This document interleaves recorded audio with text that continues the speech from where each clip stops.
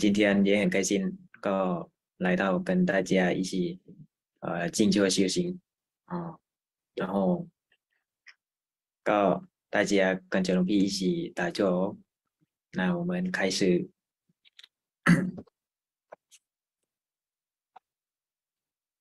现在到了我们的光明时间，诚心的邀请各位。跟着龙屁的引导，一起来静坐修行。轻轻合上双眼，感觉轻松舒服。轻轻合上双眼，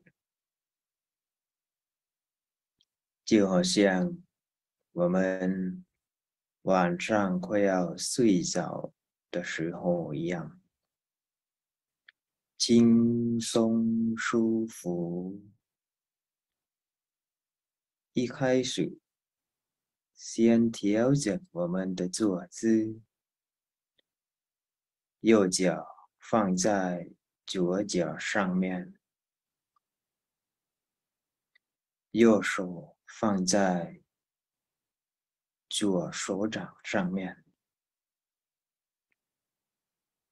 右手指食指轻轻碰触左手拇指，自然的放在右脚踝上面，再慢慢。将身体的每一部位的肌肉都放松。我们先从头顶、额头、眉毛、眼皮和。每头间的肌肉都放松，不管是脸、脸部、颈部、肩膀、手背、手掌和十只手指头，全部都放松。胸部、腹部、腰部、大腿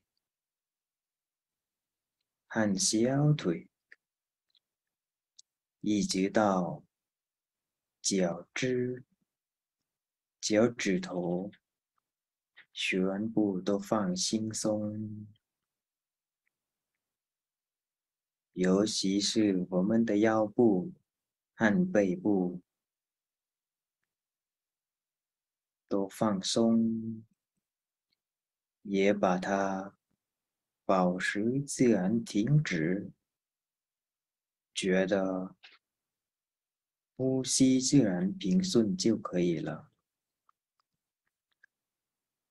如果大家坐在地板上不舒服的话，我们也可以坐在椅子上，感觉轻松自在、舒服，但是小心不要睡着。我们面带着微笑的静坐。感觉很轻松，很自在，也非常满意现在的进度。调整好我们坐姿了之后，现在我们来调心。我们先深呼吸两三次。深深、深深的呼吸，感觉空气通过我们的肺部，一直到肚子内在内的中央，再慢慢、慢慢吐气出来。当我们吸气的时候，感觉吸进了空气中所有的幸福和快乐。当我们吐气的时候，又好像将身体中所有的忧愁和烦恼都吐了出来。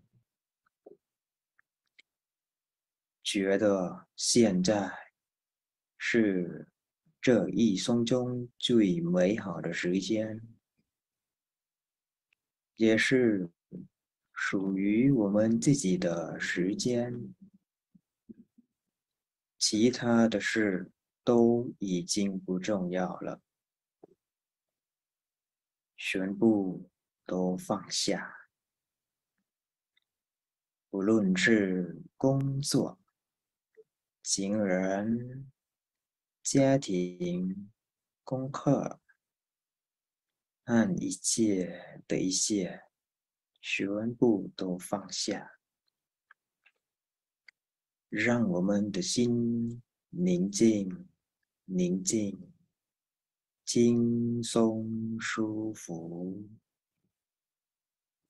保持喜悦、开朗的心情。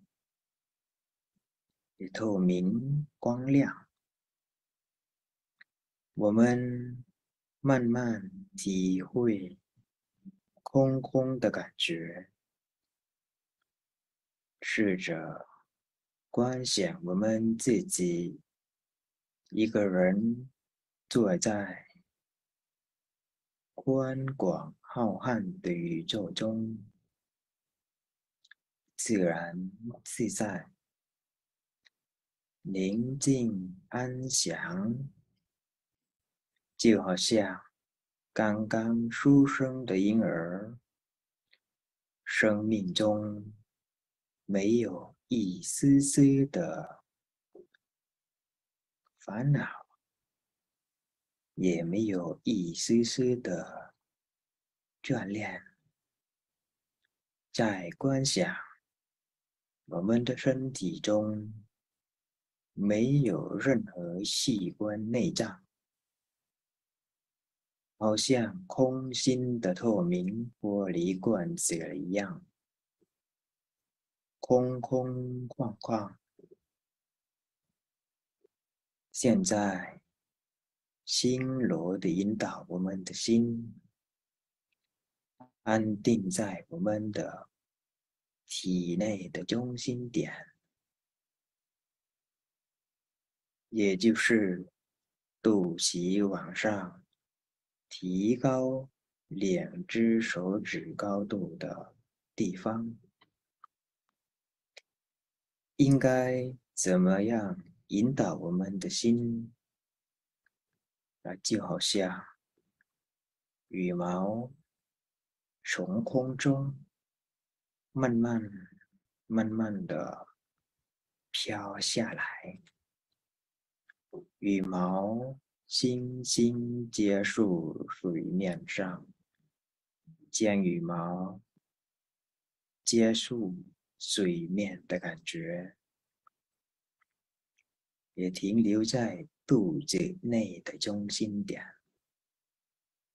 我们一直维持轻松满意的感觉，大家。要注意，心抽轻松这个感觉，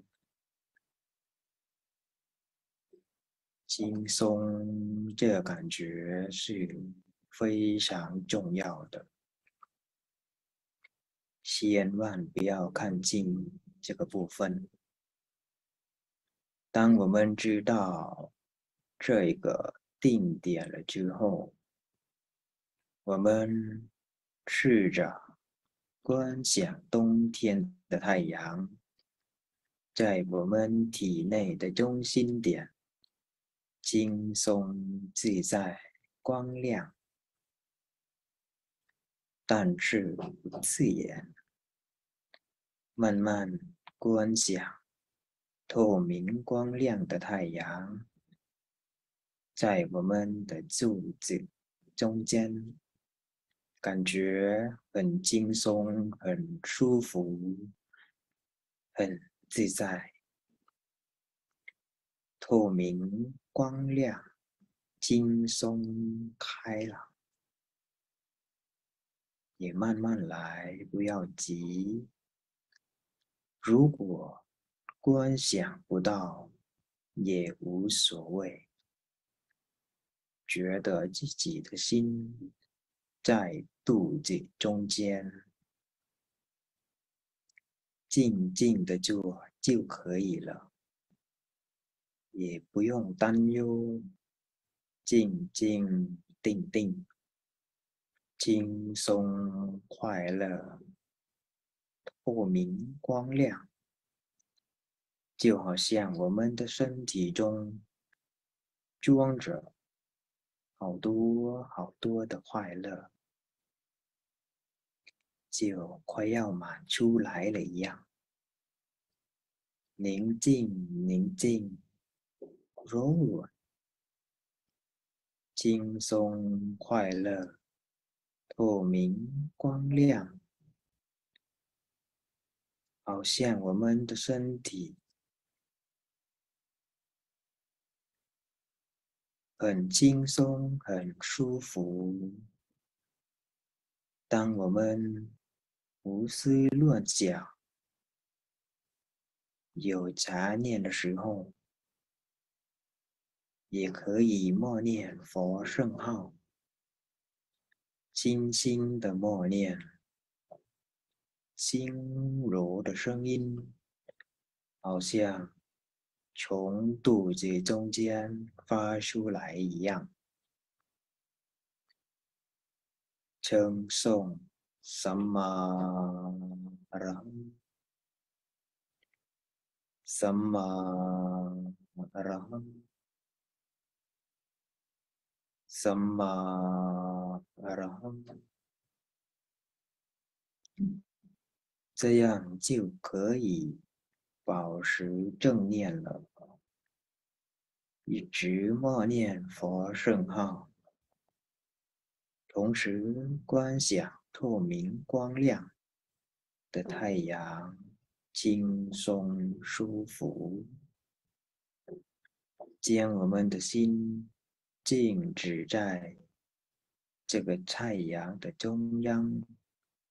维持下去，宁静、宁静、柔软、轻松、舒服、透明、光亮。什么？然后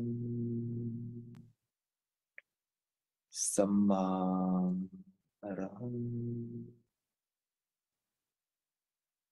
什么？然后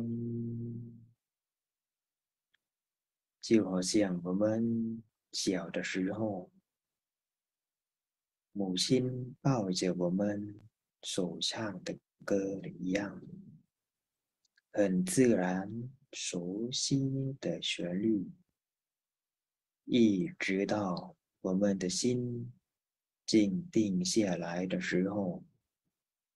那时不想默念佛圣号，也可以宁静、宁静、轻松自在，静定在身体中央的中央，宁静、宁静、轻松舒服。透明光亮，慢慢来，不要心急。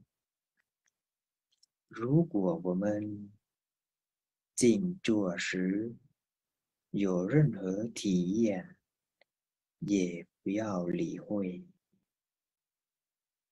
保持平常心，以冷静、轻松的态度面对。记得，只要做一个好的观众，静静的坐，定定的看，我们。也不受任何的影响，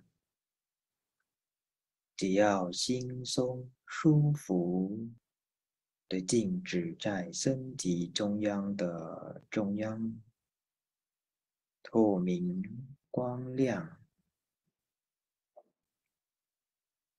心静慢慢来，轻松舒服。轻轻柔柔，羽毛也飘飘飘落到肚子中间，宁静，宁静，感觉很喜欢这种感觉，好像这样。静静的状态，好想维持这样静静的状态，也可以做到永久。太阳透明光亮，我们的心也跟着。透明光亮的太阳，心境，也没有一点瑕疵。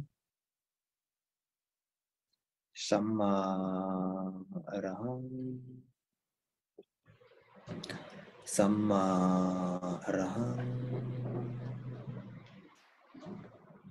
阿哼，什么阿哼。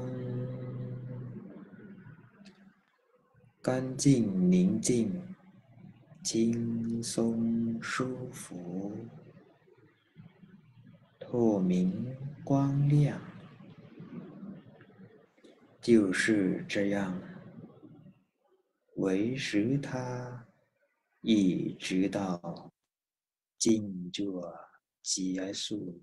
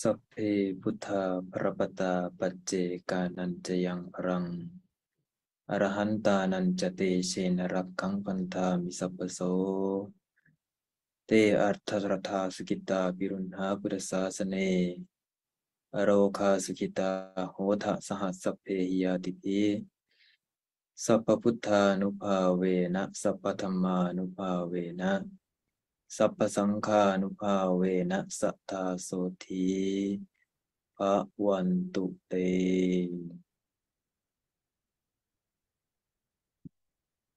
呃，大家好，呃，今天由龙碧来跟大家分享故事哦。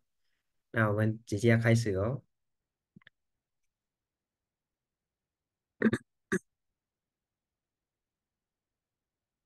哦，大家应该 看得到画面哦。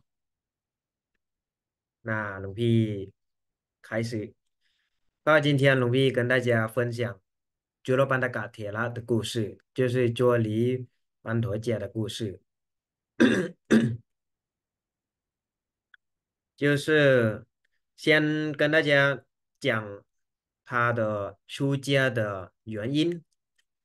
其实，朱罗班达嘎铁拉他有一位是他，他有一位哥哥，就是曼哈班达嘎，中文是摩诃吗？摩诃盘陀迦，嗯，曼哈班达嘎铁拉就是因为经常跟自己的父亲、自己的祖父去听法嘛，然后后来才出家。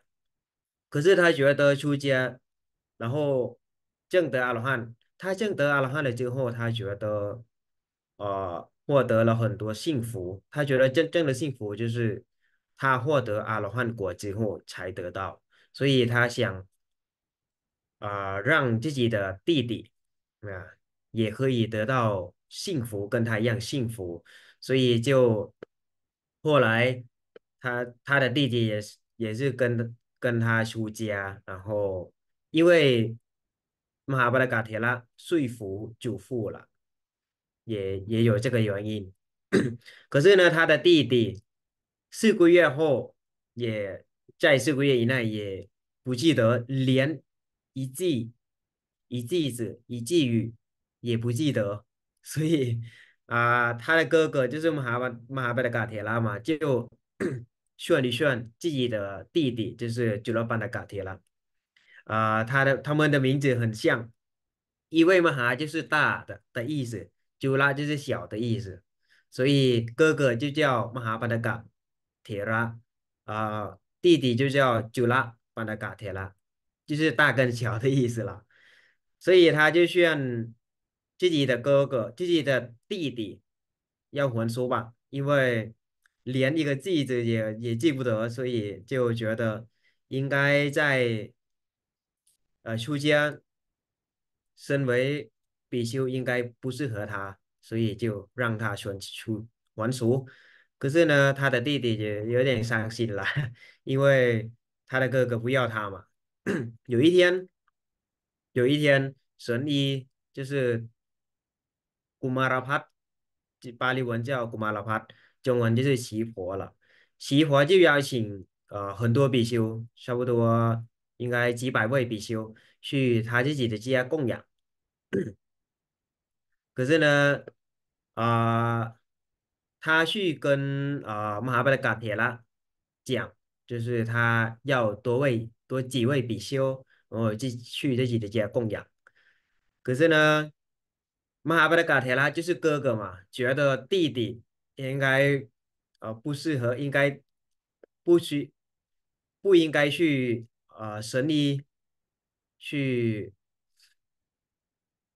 不应该去神尼的家，所以就不让那个弟弟的名单弟弟的名字在名单上名单中了，所以更加伤心就是这个，所以弟弟就就很伤心，就觉得应该要还俗吧，因为在这边也好像不太成功，所以可是呢，佛陀知道这个这个事情就就来跟呃这位比丘就是弟弟，呃就拉巴达嘎铁拉讲，呃劝一劝他，如果哥哥不要他，为什么不来找呃佛陀呢？因为他身为比丘去出家，就是因为针对佛陀出家，针对佛法出家，而不是啊、自己的哥哥出家嘛。所以就跟他讲，为什么不来找佛陀呢？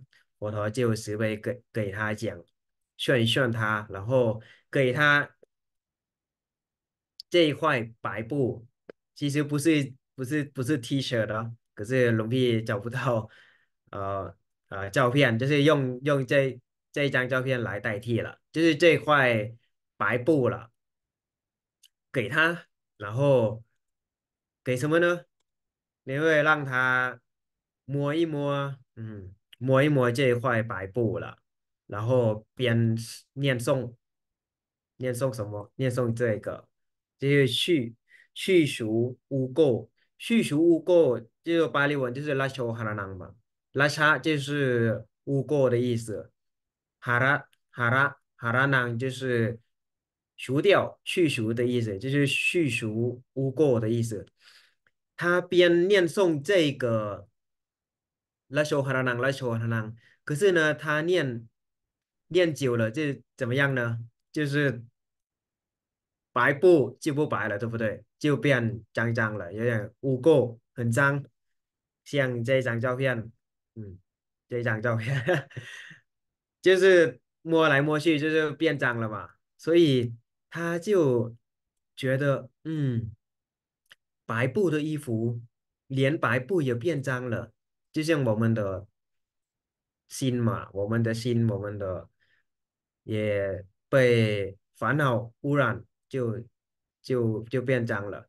他讲到这个佛陀就知道了，佛陀在西婆那边，可是佛陀他有神通嘛，佛陀因为也是有神通，就知道他这么想。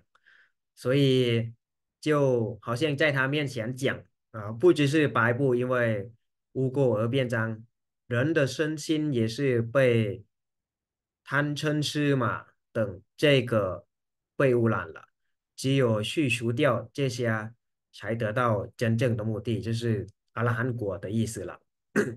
他听到这个，并按照佛陀所教的。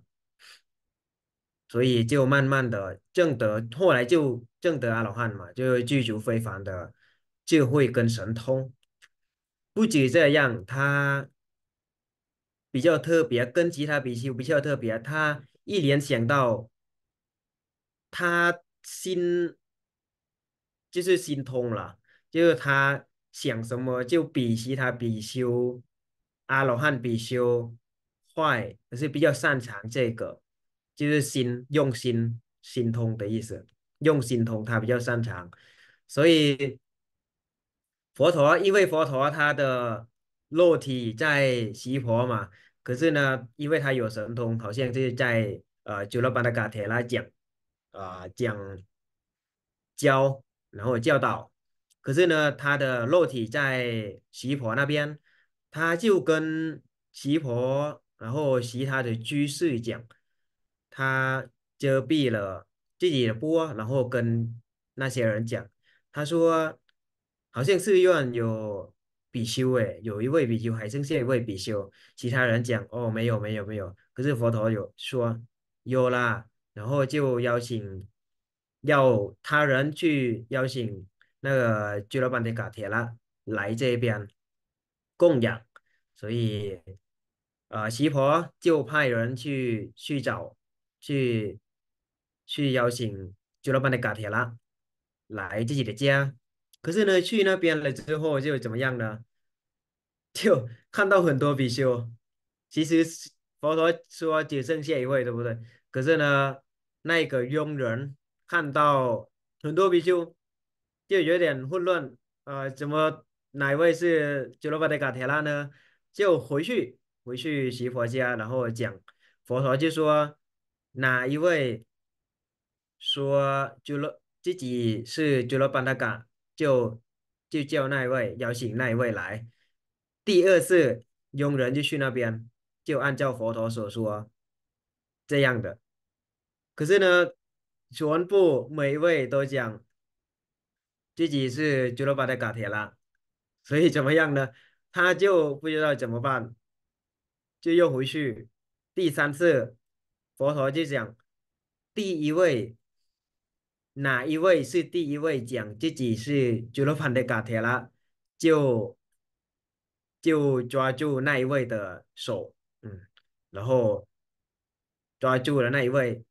其他的比丘就消失了，因为所有的比丘就是那一位了，就是朱罗班的嘎铁拉，因为他证得阿罗汉果了嘛，就他就有自己的神通了，有神通可以用神通，就让自己有很多很多很多鸠罗班的嘎铁了，就是这意思啦。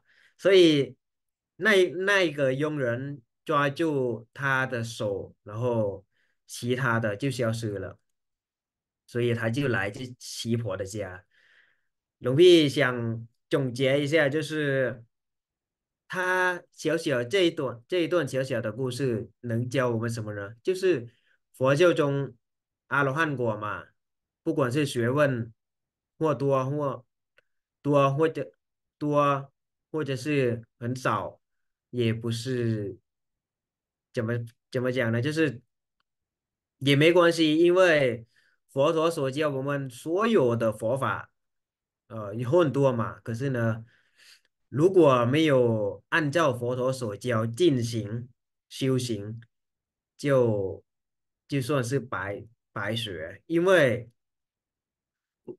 不管是知道佛法多少，可是呢，如果只知道一个。可是按照佛法所教、所教导的那个去进行、去去修行，就也可以证证得阿罗汉果。像那位比丘嘛，这位比丘就是鸠罗班的嘎铁拉，他连那个记者也记不得，对不对？可是呢，他按照佛陀所教的那个摸白布的那个，然后白布就变脏了嘛，变脏也是像我们心里。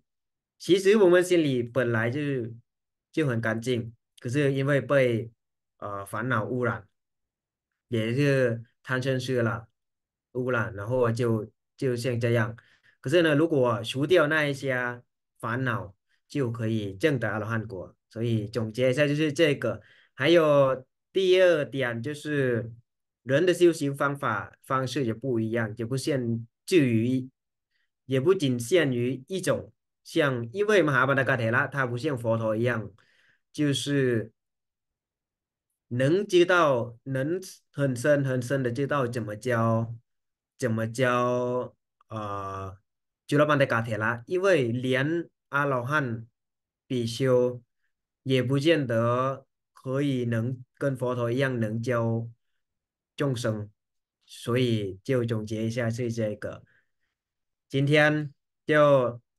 很开心跟大家分享啊，短短的故事，好像呃超过三分钟啊，抱歉大家。